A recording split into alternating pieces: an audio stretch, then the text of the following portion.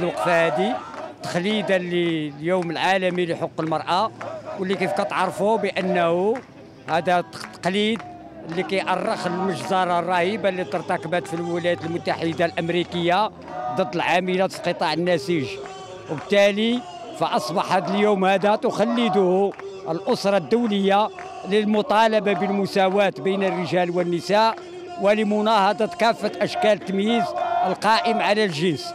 كنخلدوا هذه الذكرى هذا اليوم هذا في الوقت اللي الجائحة أرخت بظلالها بشكل كبير على النساء المغربيات.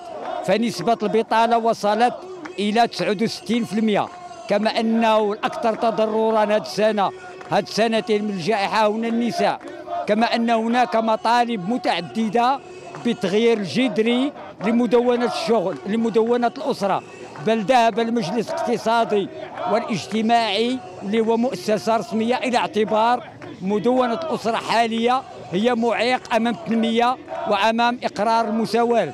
كما أن هذه السنة هذه كتجي في ظل التسريحات العديدة للعاملات. وغنعطي مثال ديال مراكش.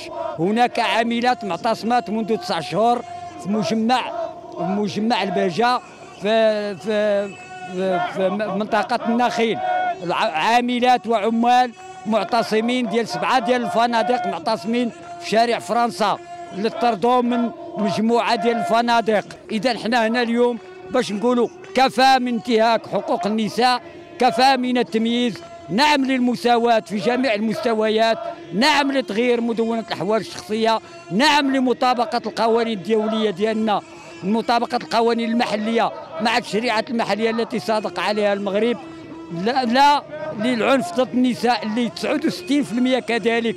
من النساء يتعرضن للعنف حسب المندوبية السامية للتخطيط وهذا رقم فظيع كما أنه يجب فتح المجال للمرأة لتقلد المناصب العامة ماشي فقط في الوزارات ولكن في جميع المؤسسات أنه خصنا نوصلوا المناصفة في تقلد المناصب العامة وشكرا. هذا اليوم النضالي تحت تراجعات لا على المستوى الدولي على المستوى الإقليمي تراجعات اللي هي خطيرة.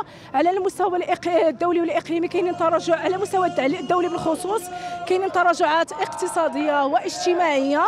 آه، تراجعات اقتصادية واجتماعية بسبب السياسات السياسات الرأسمالية المتوحشة. المطبعة في المزيد من تسليع الخدمات وتسليع الخدمات الذي أدى إلى عدم إقرار حقوق حقوق حقوق الحقوق المساواة بين الجنسين على المستوى على المستوى القاري. آه، كاين تراجعات خطيرة على مستوى الحقوق السياسية والمدنية حيث تم اعتقال عدة ناشطات نسويات لا على مستوى لا على مستوى دول الجزائر ولا مصر ولا السودان. على المستوى الوطني هناك تراجعات خطيرة وخطيرة جدا على مستوى الحقوق الاقتصادية والاجتماعية.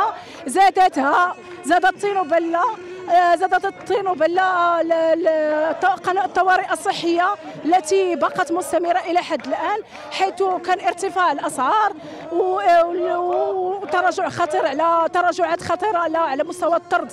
تلاحظوا الطرد ديال العاملات بكثره وتراجعات خطيره على المستوى الاجتماعي لا على مستوى الصحة لا على مستوى التعليم لا على مستوى الحق في السكن.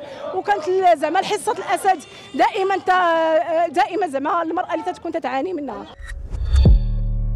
لا تنسى الاشتراك في القناة وتفعيل زر الجرس ليصلك جديد الفيديوهات من هيسبريس.